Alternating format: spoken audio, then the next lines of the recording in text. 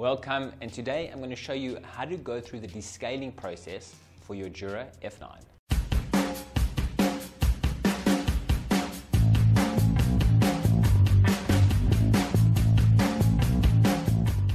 Alright, so now I'm going to show you how to go through a descaling process on your Jura machine. I always recommend not to set the machine not to use a filter because if you do that, the machine will then prompt you to descale it, which I'm going to kind of take you through how to do if you do that process.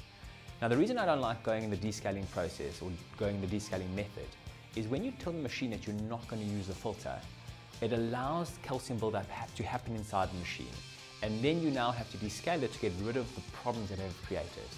If you use a filter in the first place, you never then have to descale it. The machine will never prompt you to descale it. So descaling is a long process and it's really a, a, repair process rather than a prevention process. So I don't typically recommend it, but I'm going to show you how to do how to do it if you do want to go that route. So it's super simple, but it takes time. What happens after a certain literage has gone through the machine? The machine will then, if you selected not to use a filter, the machine will then ask you to descale. And what you do, you have these little tablets, these Jura tablets, and in a pack comes three by three sets of tablets. So you have nine tablets in total. What you want to do for each descale, you're going to take the water tank out.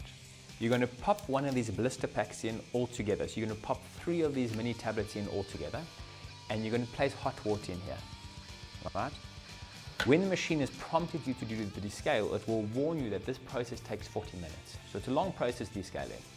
When you've done the tablets, when you've placed the tablets in the tank and as you place hot water in there, and now it's prompted you to descale, you're going to press the button, you're going to leave a cup underneath here. You can go away for 40 minutes, you can do it when it kind of suits you, and then the machine would have descaled. So, not the worst process in the world, but if you can avoid it, rather go the filter route.